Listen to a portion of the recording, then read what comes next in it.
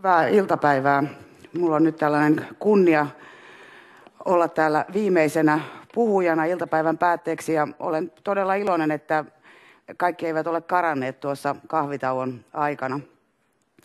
Haluan tietysti kiittää järjestäjiä siitä, että on, minulle on annettu tämä mahdollisuus tulla teille kertomaan tästä lapsi- ja perhepalveluiden muutosohjelmasta. Ja olin myös hyvin iloinen siitä, että näissä aikaisemmissa esityksissä ja keskusteluissa aika monessa yhteydessä myös nousi esille nimenomaan lasten ja nuorten asiat ja myös se lapsuuden merkitys. Ei pelkästään vammaisille lapsille, vaan ihan kaikille lapsille, ihan liittyen myös tähän yhdenvertaisuuteen. Ihan nyt kun tässä Päivi minulle sanoi, että nyt pitäisi olla jumppaa, niin nyt tietysti ajattelin sellaista jumppaa, olisin kysynyt, että kuinka moni on ollut tekemisissä tai tietää, on kuullut lapsi- ja perhepalveluiden muutosohjelmasta, niin voisiko nostaa kättä ylös. Tämähän on mahtavaa. Näin monet, monet jo tietävät asiasta, niin se ehkä mua vähän sitten helpottaa tässä, että mä en ihan kauhean syvälle sitten mene näihin tällaisiin yleisesittelyihin tässä hankkeessa.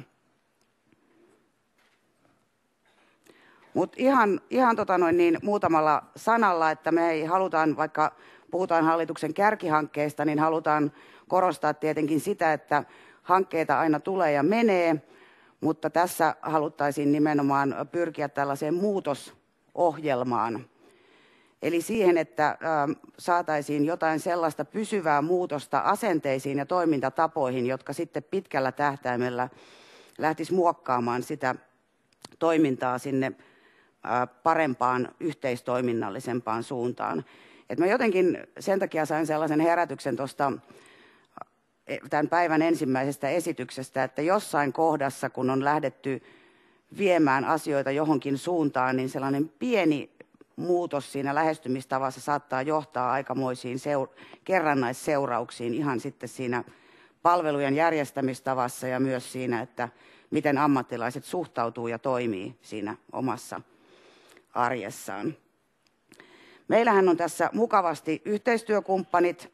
Että meillä on sosiaali- ja terveysministeriön lisäksi myös opetus- ja kulttuuriministeriö tässä mukana, joka on tietysti erityisen tärkeää, koska kouluhan on se ympäristö, jossa kaikkien lasten tulisi olla. Ja sen verran haluaisin tähän kohtaan sanoa, että kun aikaisemmin tässä nousi ihan oikeutettu huoli siitä, että mitä tapahtuu, kun sivistystoimi jää kuntiin ja muut palvelut siirtyvät maakuntien tasolle, että eilen on annettu tällainen yhdyspintaselvitys sosiaali- ja terveysministerille, joka löytyy sosiaali- ja terveysministeriön sivuilta. Ja siinä nimenomaan kosketetaan myös tätä huolta, että miten, miten varmistetaan se, että kuntien ja maakuntien välinen yhteistyö tulee toimimaan myös tulevaisuudessa ja, ja varmistetaan lapselle just nämä tärkeät kasvuympäristöt. Ja ajatuksena on tässä se, että vaikka hanke päättyisi, niin pyrimme vaikuttamaan siihen, että kun hallituskin meillä tässä nyt tulevaisuudessa vaihtuu, että tulisi sellaisia asioita, jotka kantaisi yli näiden hallituskausien. Tästä toimeenpanon tuestahan meillä tässä vastaa Terveyden ja hyvinvoinnin laitos, mutta tätä itse kehittämistyötä vie hyvin voimallisesti eteenpäin nämä tulevat maakunnat plus yksi, eli pääkaupunkiseudulle on myös annettu valtionavustusrahoitus, eli siellä tap, paljonkin tapahtuu tätä kehittämistyötä. Ja tätä kehittämistyötä on lähdetty viemään eteenpäin juuri sillä ajatuksella, että tätä tehdään nimenomaan yhdessä. Ja jo tässä kehittämistyön vaiheessa niin, ä, otetaan voimakkaasti mukaan sekä myös lapset, nuoret ja vanhemmat, niin että heitä kuullaan ja päästään, päästään kuulemaan heidän näkemyksiään siitä, että, että minkälaista on hyvä palvelu ja mikä tukisi heitä parhaiten arjessa. Meillä oli lapepäivät, tällaiset samantyyppiset kuin nämä päivät, me pidämme samantyyppisiä kehittämispäiviä, niin meillä oli ähm, kokemusasiantuntijapaneeli ja sieltä tuli aika moisia kommentteja, jotka oli kyllä ihan opiksi ja ojennukseksi meille, että kun he eivät puhuneet palvelukartoituksesta eikä arvioinnista, vaan että heidän kokemuksensa oli, että tehdään palvelukarkoitus. joka jäi kyllä mieleen, koska, mutta pisti myös hyvin paljon ajattelemaan. Että, ja toinen näkökulma näihin palveluihin, mikä täälläkin on noussut keskustelussa esille, on se, että asiakas tulee, häntä arvioidaan, mutta se on vähän niin kuin kioski, että otatko nyt viksipatukan vai marssipatukan, ja jos ei niistä kumpikaan sinulle kelpaa, niin muuta ei ole. Että koettiin sellaista turhautumista siihen, että, ja juuri tä, tällä tarkoitettiin tätä palvelukarkoitusta, että kyllä me sinut arvioimme ja tilanteesi ja näin, mutta sitten meillä on tarjolla tätä ja jos ei se nyt sinun tilanteesi auta, niin ei voi mitään. Että näinhän se tietenkään ei voi mennä. Juurikin, ja näihin viitaten, että ja myös tämä ajatus, että, että palvelut olisivat riittävän lähellä sekä lasta että perhettä ja nimenomaan niitä erilaisia lapsen kasvuyhteisöjä, koulua, perhekeskusta. Että se, mikä tässä on huolestuttavaa ollut näissä rakenteissa, että jos lähdetään siihen, että ne palvelut karkaavat kovinkin kauas, niin sehän vaan aina vaikeuttaa perheiden tilannetta. Mutta ajatuksena olisikin se, että pyritään luomaan ne lähipalvelut, joihin sitten saataisiin jalkautumalla erityyppistä räätälöityä tukea niiden perheiden tilanteisiin. Että tässä puhuttiin ja viitattiin aikaisemmin myös tähän sosiaalihuoltolakiin ja se on sellainen asia, mikä meilläkin on paljon keskustelussa ja käsittelyssä tässä, että kaikkien perheiden pitäisi saada sosiaalihuoltolain perusteella sitä varhaista tukea ja vanhemmuuden tukea ihan sieltä peruspalveluista. Ja se, mikä tässä on meillä myös tässä muutosohjelmassa ollut lähtökohtana, on lasten oikeuksien sopimus, joka Suomessa on vähän tällainen mun, minun, mielestä, minunkin, minun mielestäni ei, ei niin vakavasti otettu asia, että jotenkin ajatellaan, että lapsille ja, ja vammaisille lapsille annetaan palveluja ikään kuin se olisi jotakin hyvän tekeväisyyttä tai hyvästä tahdosta tai rahasta riippuva asia, kun se nimenomaan on perus, perustuu ihmisoikeuksiin. Lapsilla on omat oikeudet ja vammaisetkin lapset ovat ensisijaisesti lapsia. Tietysti silloin, kun tarvitaan erityistä tukea sen yhdenvertaisuuden toteutumiseksi, niin silloin otetaan vammaissopimus käyttöön. Tässä on nyt sitten näkyvissä nämä meidän tulevat, tulevat maakunnat ja tietysti sekin tulee olemaan omana haasteenaan, että, että maakunnathan ovat kovin eri kokoisia ja tietenkin monella muullakin tavalla hyvin erilaisia. Mutta sehän ei tietenkään saa olla esteenä sillä, etteikö siihen yhdenvertaisuuteen tulisi pyrkiä erilaisilla keinoilla. Ja niin kuin mä tässä, anteeksi, tässä viittasin, niin me Lapessa suhtaudumme siihen, että kaikki lapset lähtevät samalta viivalta ja pyrimme siihen, että yhdenvertaisuus toteutuisi kaikissa palveluissa. Ja siinä on Panu tuossa aamupäivällä puhui tästä, että miten yhdenvertaisuus toteutuu nimenomaan demokratian kautta, niin mun ajattelu on mennyt aika samoilla linjoilla, että nimenomaan osallisuus on se ydinasia siinä, että miten yhdenvertaisuus toteutuu. Kun se siinä osallisuus oikeasti pyritään toteuttamaan paitsi siinä asiakassuhteessa, myös kehittämistyössä, mutta myös sitten seurannassa, niin että se seuranta on myös siellä rakenteissa, ettei niitä lapsia ja perheitä sitten unohdeta, vaan että kerätään jatkuvaa palautetta siitä, miten palvelut toimii, mikä on heidän näkemyksensä, mikä on heidän kokemuksensa. Niin mä näkisin sen hyvin vahvana, vahvana tota, niin tapana lähteä varmistamaan sitä palvelujen yhdenvertaista toteutumista. Ja tässä todellakin myös sitten on aina syytä muistaa, että, että lasten vammaisuushan ei ole mikään sellainen yhteinen nimittäjä, että, että näillä lapsilla, perheillä olisi samanlaiset ominaisuudet, tarpeet ja olosuhteet. Että he ovat ihan yhtä erilaisia kuin kaikki muutkin perheet. Ei ole kahta samanlaista perhettä, eikä kahta samanlaista elämäntilannetta. Tässä mä olen aivan lyhyesti esitelty näitä eri kehittämiskokonaisuuksia, mitä meillä Lapessa on.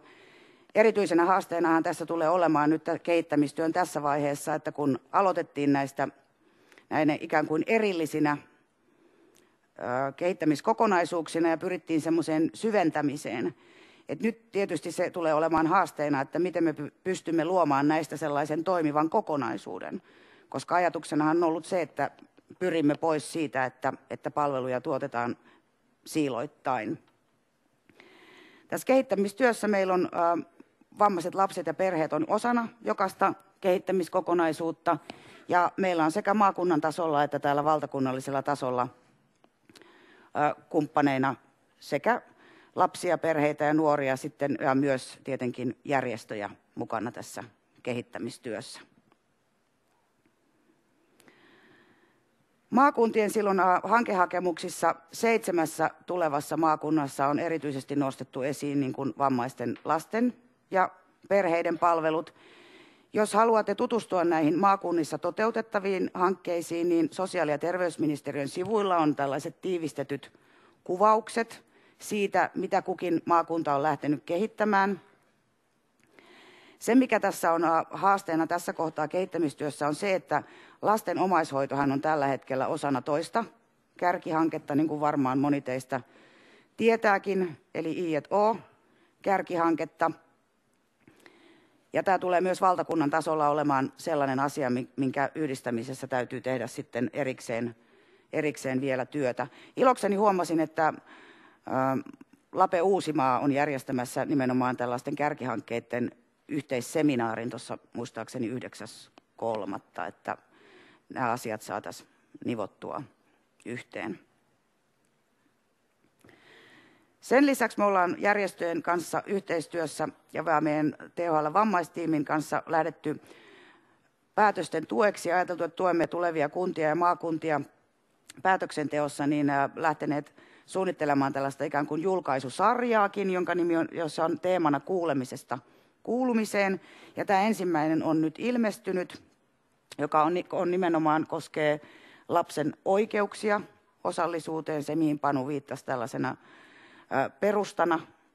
Ja meillä on tulossa sitten seuraava julkaisu, sanotaan nyt muutaman kuukauden sisään, jossa on sitten enemmän siitä, että miten tämä osallisuus sitten lähtisi toteutumaan siellä palveluissa. Ja siinä on, ollaan tehty läheisesti yhteistyötä VAMO-hankkeen kanssa ja VAMLASin kanssa ja muidenkin järjestöjen kanssa.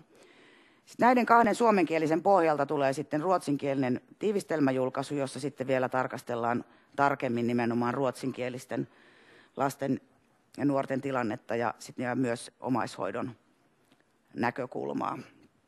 Me toivotaan, että tämä on hyvä tapa myös sitten viedä sitä tietoa sinne päätöksenteon tasolle.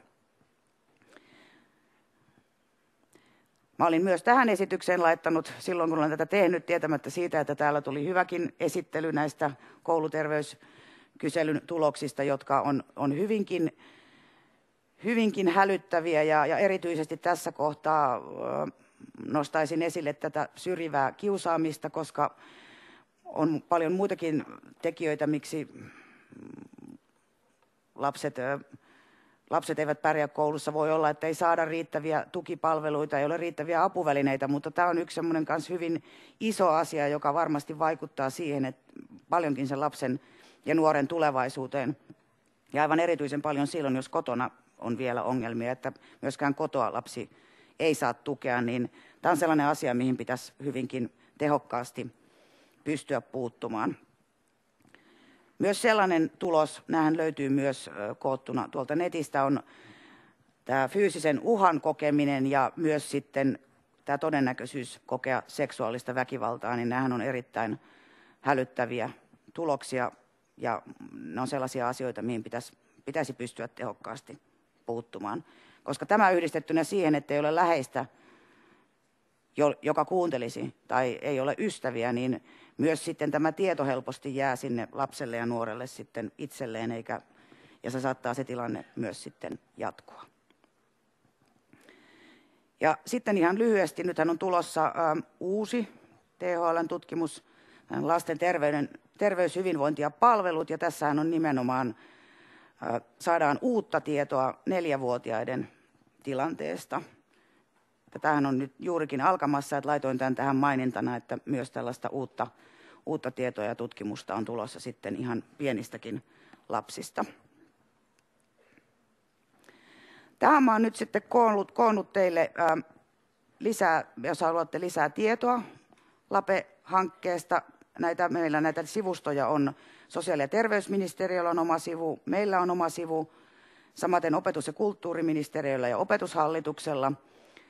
Ja täältähän löytyy, jokaisessa maakunnassa toimii muutosagentti sekä hankejohtaja tässä muutosohjelmassa, ja heidän yhteystietonsa löytyvät myös täältä nettisivustoilta.